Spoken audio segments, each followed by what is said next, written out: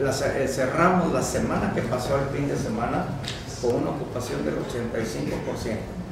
Y ahorita, eh, al día de hoy, que es el grueso, hoy llega el grueso de los turistas, que va a ser jueves, viernes, sábado con salida domingo, eh, probablemente lleguemos al 100%, sobre todo el día sábado.